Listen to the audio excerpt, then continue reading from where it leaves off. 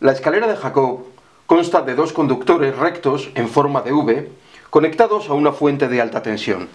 Nosotros, en este caso, hemos utilizado dos transformadores de microondas. El arco voltaico se produce en la parte más baja de los dos conductores.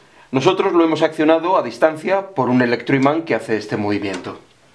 Entonces, en la medida que el arco voltaico va subiendo, se va ionizando el aire por la radiación ultravioleta y por el calor y va subiendo hasta que la distancia de los electrodos es demasiado larga y desaparece.